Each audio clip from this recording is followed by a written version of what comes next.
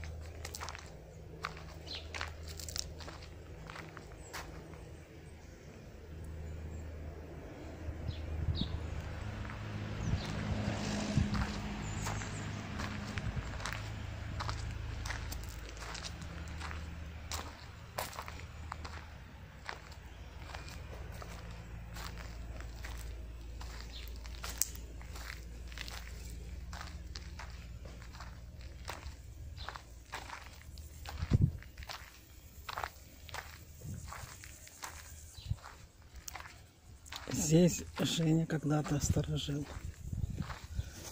Это вот помещение было.